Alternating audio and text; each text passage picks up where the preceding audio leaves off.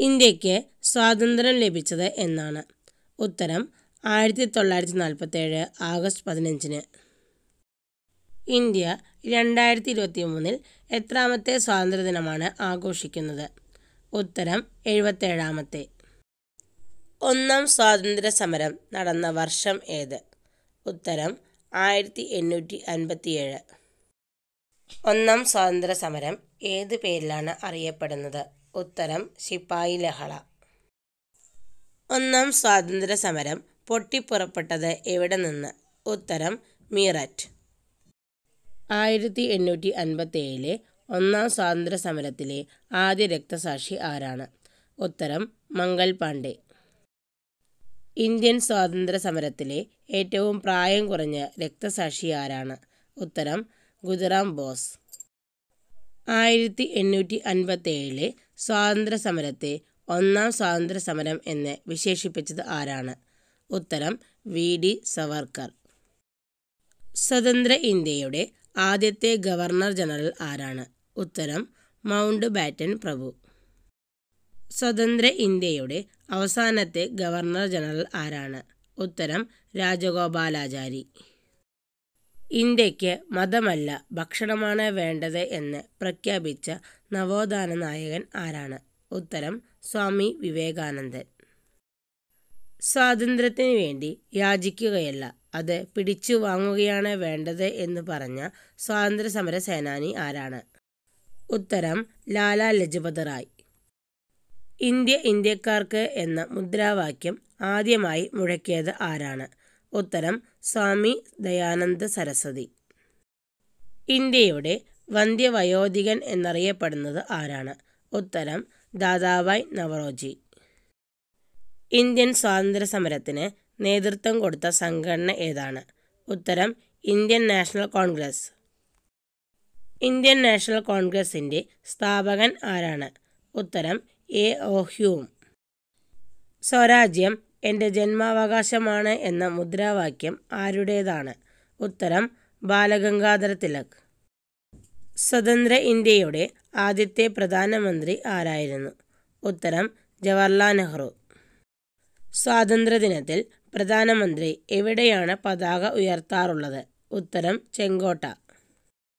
ജയ് ഹിന്ദ് എന്ന മുദ്രാവാക്യം ആദ്യം മുഴക്കിയ നേതാവ് ആരാണ്? ഉത്തരം സുഭാഷ് ചന്ദ്രബോസ്. സാരേ ജഹാംസി അച്ച എന്ന ദേശഭക്തി ഗാനം രചിച്ചത് ആരാണ്? ഉത്തരം മുഹമ്മദ് ഇക്ബാൽ. കേരള ഗാന്ധി എന്നറിയപ്പെടുന്നത് ആരാണ്? ഉത്തരം കെ കേളപ്പൻ. നിങ്ങൾ എനിക്ക് രക്തം തരൂ ഞാൻ നിങ്ങൾക്ക് സ്വാതന്ത്ര്യം തരാം. ഈ വാക്കുകൾ ആരുടേതാണ്? ഉത്തരം സുഭാഷ് ചന്ദ്രബോസ്. ഇന്ത്യൻ ഭരണഘടന നിലവിൽ വന്ന ദിവസം ഏതാണ്? ഉത്തരം ആയിരത്തി തൊള്ളായിരത്തി അൻപത് ജനുവരി ഇരുപത്തി ആറിന് ഇന്ത്യയുടെ ദേശീയ പതാക രൂപകൽപ്പന ചെയ്തത് ആരാണ്? ഉത്തരം പിംഗലി വെങ്കയ്യ. ദേശീയ പതാകയിലെ നിറങ്ങൾ ഏതെല്ലാം? കുങ്കുമം വെള്ള പച്ച. ഇന്ത്യയുടെ ദേശീയ ഗാനം രചിച്ചത് ആരാണ്? ഉത്തരം രവീന്ദ്രനാഥ ടാഗോർ.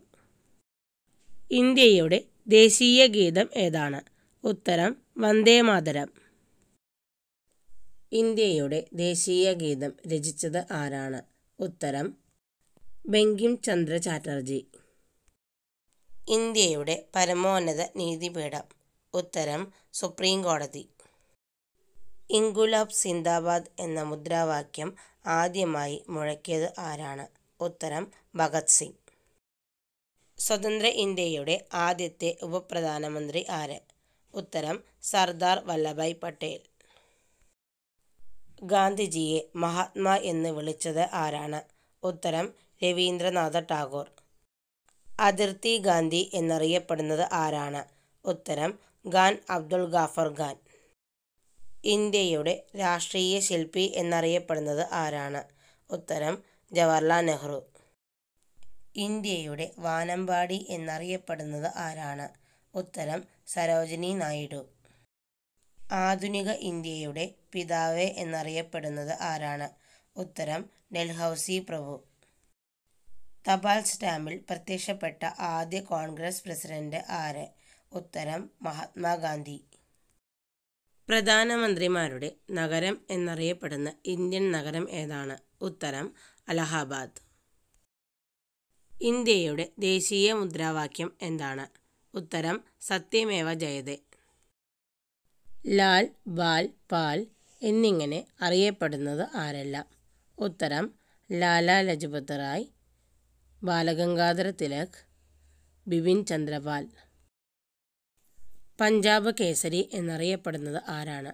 ഉത്തരം ലാലാ ലജപത് റായ് ഇന്ത്യയുടെ തലസ്ഥാനം ഏതാണ്?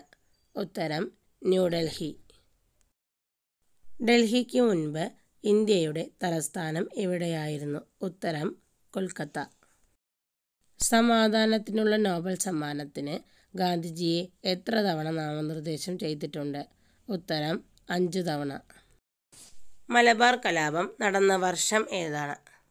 ഉത്തരം ആയിരത്തി തൊള്ളായിരത്തി ഇരുപത്തൊന്ന് ഇന്ത്യയിലെ ഗാന്ധിജിയുടെ ആദ്യത്തെ സത്യാഗ്രഹം നടന്ന ചമ്പാരൻ എന്ന പ്രദേശം ഏത് സംസ്ഥാനത്താണ്? ഉത്തരം ബീഹാർ. ഇന്ത്യയ്ക്ക് മതമല്ല ഭക്ഷണമാണ് വേണ്ടത് എന്ന് പ്രഖ്യാപിച്ച നവോത്ഥാന നായകൻ ആരാണ്? ഉത്തരം സ്വാമി വിവേകാനന്ദൻ. ഐത്തത്തിനെതിരെ ഇന്ത്യയിൽ നടന്ന ആദ്യ സംഘടിത സമരം ഏത്?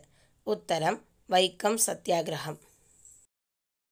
കണ്ണൂരിലെ ഉപ്പു സത്യാഗ്രഹത്തിന്റെ കേന്ദ്രം എവിടെയായിരുന്നു? ഉത്തരം പയ്യന്നൂർ. ഇന്ത്യ പാകിസ്ഥാൻ അതിർത്തി രേഖ ഏത് പേരിൽ അറിയപ്പെടുന്നു? ഉത്തരം റെഡ് ക്ലിഫ് രേഖ. Quit India Simon go back എന്നീ മുദ്രാവാക്യങ്ങളുടെ ഉപജ്ഞാതാവ് ആരാണ്? ഉത്തരം യൂസഫ് മെഹ്റലി. ബ്രിട്ടീഷ് ഭരണത്തിന് ഇന്ത്യയിൽ അടിത്തറയിട്ട യുദ്ധം ഏത്? ഉത്തരം പ്ലാസി യുദ്ധം. ഇന്ത്യൻ പീനൽ കോഡിന്റെ ശില്പി എന്നറിയപ്പെടുന്നത് ആരാണ്? ഉത്തരം മെക്കാളെ പ്രഭു. ജാലിയൻ വാലാബാഗ് കൂട്ടക്കൊല നടന്ന വർഷം ഏത്? ഉത്തരം ആയിരത്തി തൊള്ളായിരത്തി പത്തൊൻപത് ഏപ്രിൽ പതിമൂന്നിന്. വാഗൺ ട്രാജഡി നടന്ന വർഷം ഏത്? ഉത്തരം ആയിരത്തി തൊള്ളായിരത്തി ഇരുപത്തൊന്ന് നവംബർ പത്തിന്.